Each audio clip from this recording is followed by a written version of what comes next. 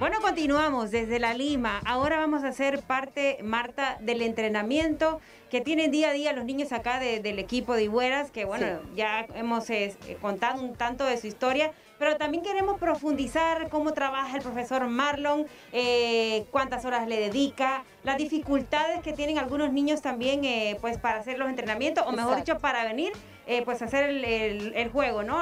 y buscar los objetivos. Y eso es lo más importante, ¿sabes? Porque esto es una de las pocas comunidades o uno de los pocos equipos a nivel nacional que tienen este tipo de carencias de traslado, de equipamiento, de tal vez un espacio, pero ellos tienen la bendición el día de hoy de que podemos compartir con ellos, que podemos conversar y conocer, eh, bueno, de lo que hacen todos los días, exacto. Venimos aquí, vamos a conversar con el profesor profesor Marlon, ¿verdad? Sí, mucho gusto, mucho gusto. Profesor, eh, bueno, vamos a ver cómo es el entrenamiento, pero también si usted eh, nos puede comentar cómo se vive día a día pues, eh, con el equipo y cuántos niños tiene. Bueno, gracias, ¿verdad?, por la visita. somos aproximadamente 40 niños, ¿verdad? Estamos trabajando para poder pues, dar la comunicación ¿verdad? A la, niñez, ¿verdad? Entonces estamos trabajando para que todos los niños puedan divertirse sanamente, ¿verdad?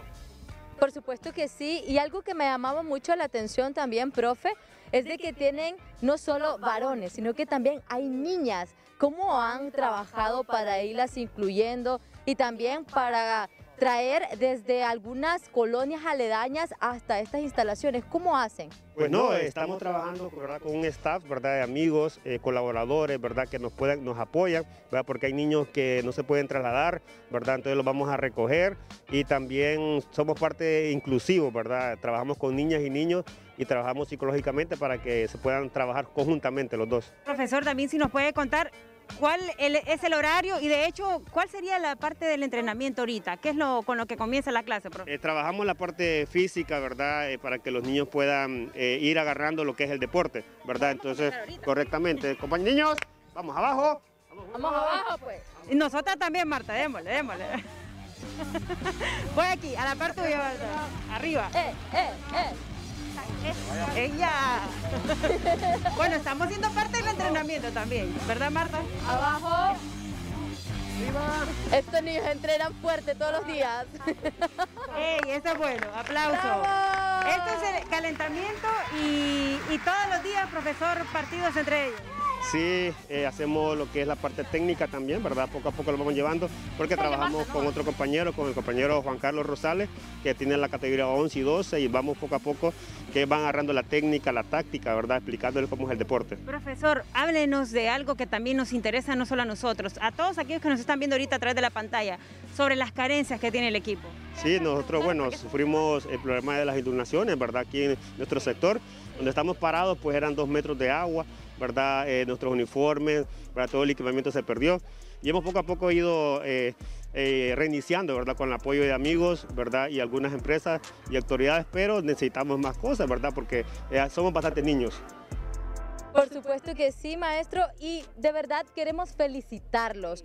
Pero no solamente eso, sino que la dueña del balón el día de hoy, estamos aquí por algo muy especial y Erika nos va a dar un poco más de detalle. Así es, Marta, y así como todos los que nos están acompañando, este es un programa de Viernes de Concentración y queremos que ahora los niños en la Lima Cortés, aquí cerca de la colonia Usula y La Paz, también tengan ese momento bonito para compartir y les tenemos una sorpresa, así que por favor que nuestros amigos se acerquen y nosotros también nos vamos a acercar a ellos porque son implementos deportivos en los cuales son un donativo, claro, para que ustedes vean de lo que se va a llevar a cabo con cada uno de estos niños. Recuerden que son distintas categorías Miren ahí, y, más allá de esto, para la U12, para las menores que rondan de 10 a 11 años. Entonces es muy bonito, Tania, tener que ver este tipo de implementos y por parte también de los que los han donado. Así es, eh, Erika, viene profesor, esta es una parte de, la sorpresa de parte de las dueñas del balón, bueno, Corporación Televicentro, eh, para traerles algunos eh, implementos deportivos, accesorios, porque sabemos de las dificultades con las que ustedes cuentan. Sí, estoy emocionado, ¿verdad? Una gran alegría en nombre del Comité Comunitario de la Paz, la USULA, ¿verdad? Los padres, ¿verdad? Y muchas personas que nos han apoyado, ¿verdad? Entrenadores. Estamos muy alegres, ¿verdad? Una bendición para nosotros. Como dicen, el que siembra, pues cosecha, ¿verdad? Y Dios nos, los ha puesto a ustedes como unos ángeles, ¿verdad? Y gracias a ustedes, a la corporación y a los patrocinadores que nos apoyaron. Así es, bueno, profesor, también Erika está pues eh, con alguien que es parte de esta gran sorpresa y que sobre todo les va pues eh, a funcionar mucho todos los días y sobre todo en los entrenamientos, Erika. Así es, eh, para la gente que está con nosotros, Tania, que sepa también no solamente la ayuda al profe Marlon que está con ellos, sino en realidad la donación de The Jersey Store para que nos vayan a estar pendientes con eso y, ustedes también sepan cómo podemos ubicarlos a Jersey Store y sobre todo gracias, gracias por esta donación, eh, el hecho de tener que abocarse a niños que están todavía en precariedad debido a los huracanes ETA y OTA que afectó muchísimo esta zona de la Lima, así que coméntenos un poco de su tienda. Sí, claro. Primero que nada, muchas gracias. Eh, para nosotros es un honor, ¿verdad?, poder ayudar a la juventud Sabemos que el futuro de Honduras depende de los jóvenes y con las herramientas adecuadas pues se logran profesionales de calidad. ¿Verdad? Nuestra tienda está ubicada en San Pedro Sula y en Tegucigalpa, ¿verdad? Pueden escribirnos al WhatsApp 3320-9853 y estamos a la orden. Y a las redes sociales, lo que ustedes quieran. Y no solamente los implementos deportivos, camisetas, lo que la gente quiera. Y en serio, esto también se puede replegar a buenas acciones más adelante, ¿verdad, Marta? Bueno, yo estoy aquí con uno que le dicen mini Messi, para que se haga más o menos una idea que es un jugadorazo este muchachito.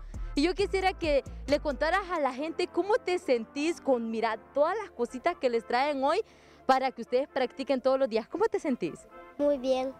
¿Y qué vas a hacer, digamos, con esos balones? ¿Qué pensás hacer? Jugar con ellos. ¿Y vas a meter goles? Sí. ¿Y cómo lo vas a celebrar? Como Messi. ¿Y cómo lo celebra Messi? Vamos a ver cómo celebra Mini Messi. Vamos a ver. ¡Oh!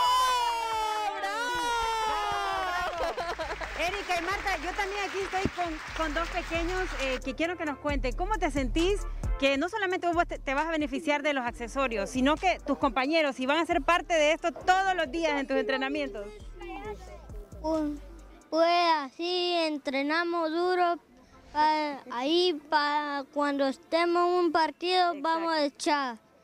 Y ahí para entrenamos y, y cuando un partido ahí echamos gol. Bueno, así nos comparten chicas eh, sus alegrías. ¿Cuál es su nombre? Sebastián Andrés Jiménez Ponce. Sebastián Andrés, hasta nombre de jugador tiene Erika y Marta. Pero ayer chicos les cuento Ustedes están atentos de todo lo que sucede en las eliminatorias. Veamos lo que sucedió también en la eliminatoria UEFA, donde nos dejó grandes